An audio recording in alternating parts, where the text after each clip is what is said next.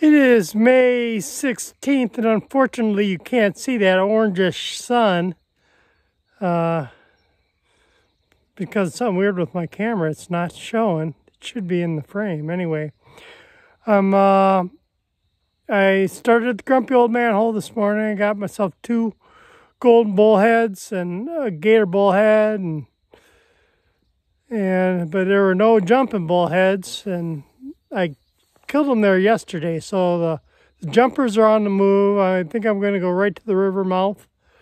It's calm. And we'll see if they move there. And I'll work that Sullivan Platte River outlet if they're not at the river mouth. So hopefully it'll be a good trip this morning. Well, I'm now back in from the morning trip. The river mouth was not happening. Didn't even get a bite there.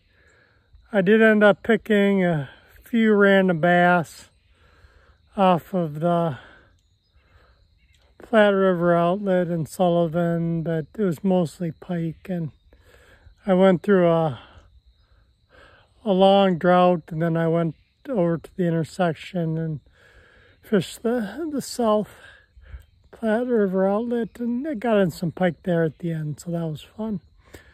Uh, got one decent bass, but it was it was slow.